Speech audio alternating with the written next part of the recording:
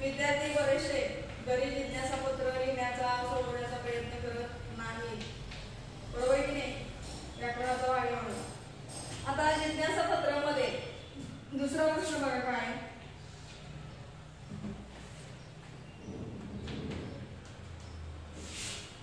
हेतुवर्थ काव्य आणि प्रयोज्य वाक्य पुनर्लिखन हेतुवर्थ तुमंतव्य. योजायचंय तुम्हाला. तुमंतव्य. बघा काय? भार्गव हो डॅशना गंगा नदी गच्छती. भार्गव काय येणार आहे? हेतुवर्तक काव्य कुठलं प्रत्यय तुम स्नातू. काय येणार उत्तर? स्नातू. उत्तर फक्त मी लिहिते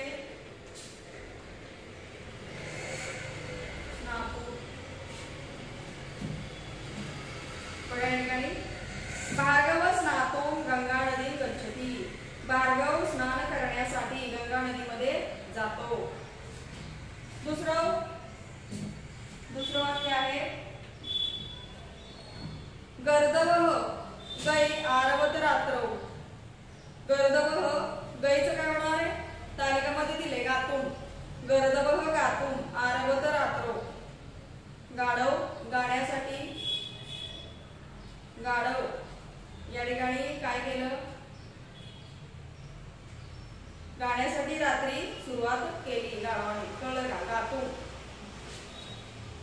गाण्यासाठी म्हणजेच काय तर ओरडण्यासाठी लक्षात घ्या गातू गई गातू रात्री सुरुवात केली गाढव रात्री ओरडण्यासाठी सुरुवात करू लागले. गातू म्हणजे गाऊ लागले असं म्हणता येणार नाही आपल्याला ओरडू लागले गातू दनम लभ सोमदत्त महानगरम असर दनम लभ काय होणार आहे? लबून लबू लब्धून धन मिळवण्यासाठी सोमदत्ताने सोमदत्त महानगरामध्ये आला किंवा राहू लागला आला असं अर्थ राहिला किंवा राहू लागला पैसे मिळवण्यासाठी सोमदत्त महानगरात असं अर्थ म्हणजे काय करू लागला राहायला आला किंवा राहू लागला पैसे मिळवण्यासाठी आता चौथा बघा प्रश्न प्रश्न प्रच्छ सहधैर्येन अग्रे आगच्छत। प्रश्न प्रश्नून प्रच्छच काय होणार प्रश्नून चौथा प्रश्नून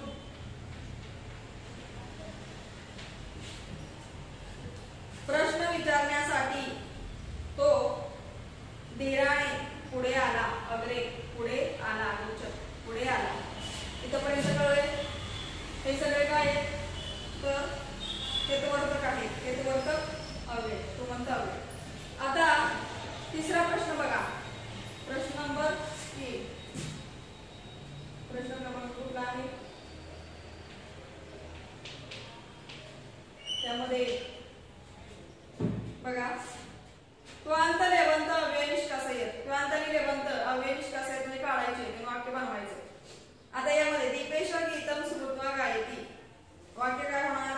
दीपेश गीतम स्मरती गायती च. वाक्य काय होईल वाक्य लिहून देते मी तुम्हाला वाटलं तर.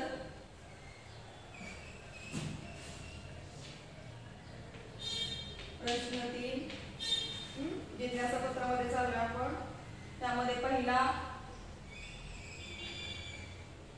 दीपेश गीतम स्मृत्वा गायती. आता स्मृत्वा काय होणार? स्मृती गायती. उत्तर बघा. दीपेश गीतम स्मरती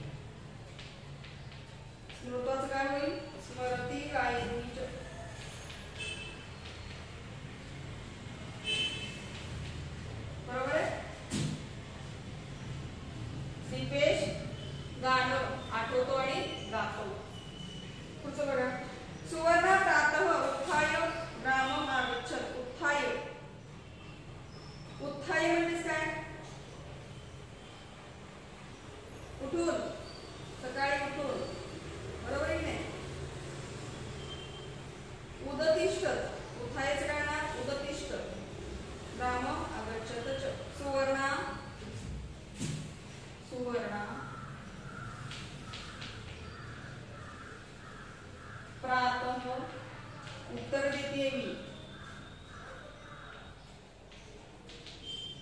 प्राप्त उदतिष्ठत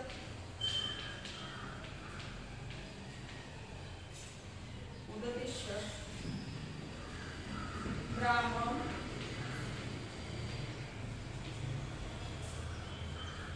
आगच्छत अवच्छत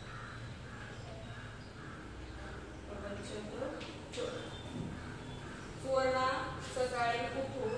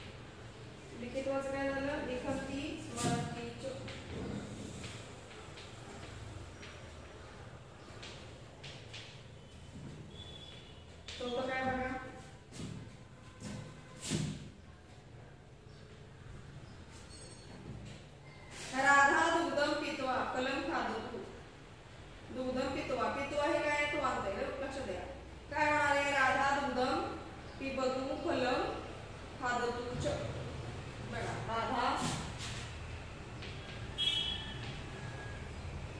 दुग्धम पिबतु दूध पिऊन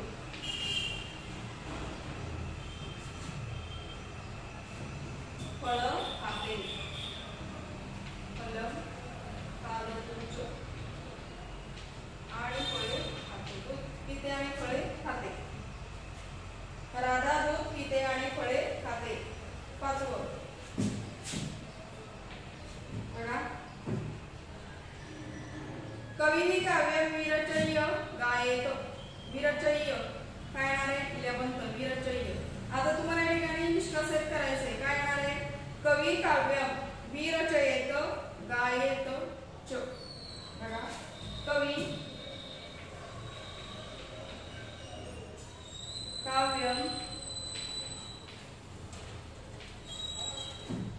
विरचयेत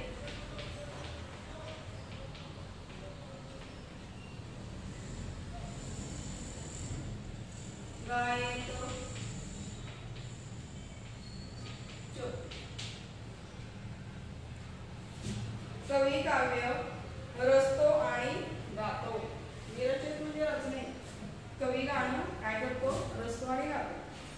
बघा या पद्धतीने इथं तुम्हाला उत्तरं दिलेली आहेत. नंतर दुसरा प्रश्न सुद्धा मी दिलेला आहे. या ठिकाणी जिज्ञासा पत्र इथं तुमचं संपलेलं आहे.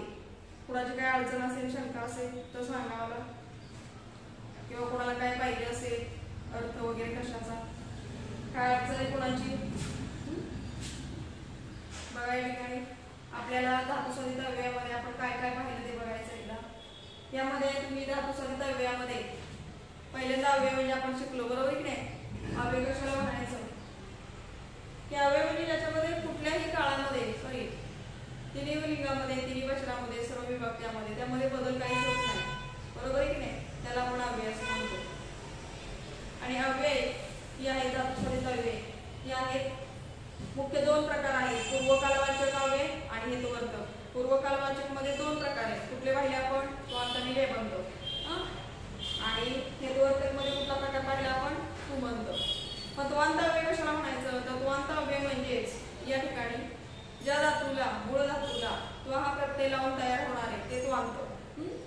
उदाहरणार्थ पटपटीत. तुम्हाला मी दिलेले लिहून.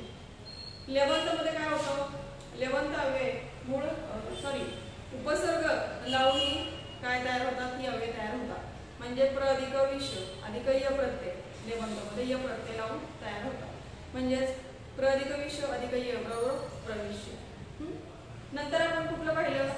तर तुमंत. तुमंतव्यामध्ये आपण काय पाहिलं? की तुमंत अव्यय हे तुम हे प्रत्यय. मूळ धातूला तुम हा प्रत्यय लावून तयार होता. आणि हेतुवर्तक काव्य म्हणजे तुमंतव्यामध्ये क्रियेचं उद्दिष्ट सांगितलं जातं. की ती क्रिया कशासाठी घडते? ओके ना? हे सुद्धा आपण बघितलं. उदाहरण काय सांगितलं होतं बघा मा देवम पूजयितुम माता देवालयात गच्छती बरोबर आहे की नाही देवाची पूजा करण्यासाठी आई देवळात जाते माता किमर्थम देवालय गच्छती माता आई कशासाठी देवळात जाते? काय सांगितलं उद्दिष्ट? कशासाठी? देव पूजे देवाला देवाची पूजा करण्यासाठी. म्हणजे या ठिकाणी एकवर्तकमध्ये तुमचा हेतू आणि क्रियेचं उद्दिष्ट हे सांगितलं जातं. हेतुवर्तक हेतू अधिक अर्थकम हेतुवर्तक काय संधी? बघा हेतुवर्तकाचा संधी काय आहे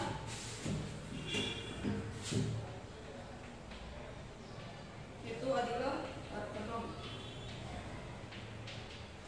संधी बरोबर काय झालं?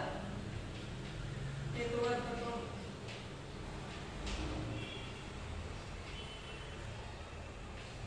हेतू नाम उद्दिष्ट हेतू म्हणजेच काय हेतू नाम हेतू नाम उद्दिष्ट उद्दिष्ट हेतू म्हणजेच काय तर उद्दिष्ट मग हेतुवर्तक काव्य हे क्रियेचं उद्दिष्ट सांगतं हेतुवर्तक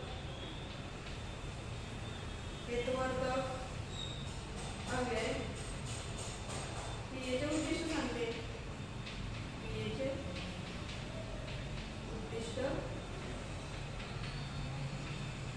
सांगते हे कधीही विसरायचं नाही मी लिहून दिले तरी सुद्धा तुम्हाला थोडस परत एकदा सांगते हे महत्वाचं आहे उद्दिष्ट सांग- कशासाठी देवळात गेले कशासाठी आई तर पूजेसाठी या ठिकाणी मुलगा शाळेत गेला कशासाठी पटीतून शिकण्यासाठी मुलं क्रीडा क्रीडांगणावर गेली कशासाठी गेली तर खेळण्यासाठी खेळीतून म्हणजे या पद्धतीने त्याचं उद्दिष्ट इथे सांगितलं जातं म्हणून त्याला हेतुवर्त काव्य असं म्हणतात तू म्हणत हे लक्षात घ्यायचं हा? हे पूर्ण तुमचा हा जो घटक आहे धातुसारी तव्यायी हा पूर्ण झालेला आहे इथं. बरोबर आहे जिज्ञासा पत्र सुद्धा मी घेतलेलं आहे तेवढ्यासाठी फक्त जिज्ञासा पत्रामध्ये फक्त उत्तर घेतलेले आहेत काय अडचण असेल तर तुम्ही मला सांगा आपण पुढच्या तासाला लोट लकार ई पुढचा आपण घटक पाहणार आहोत मग तो पुढच्या तासाला बघणार आहोत इथंपर्यंतचा भाग कळलाय का बघा कळला असेल वाचा एकदा मी काय काय लिहून दिले कुठं काय अडचण असेल तर जरूर सांगा ठीक आहे आणि तालिका पाठ नंबर सत्तावीस वरची तालिका. वाचली पाहिजे तुम्ही. त्यामध्ये तुम्हाला तो अंतलेबंत आणि उमंत याची धातू वाईज काय आहे त्या ठिकाणी? ती रूप दिलेली आहे ती कशी तयार झाली? ते या ठिकाणी अभ्यासा आणि वाचा. काय अडचण असेल तर मला पुढच्या तासाला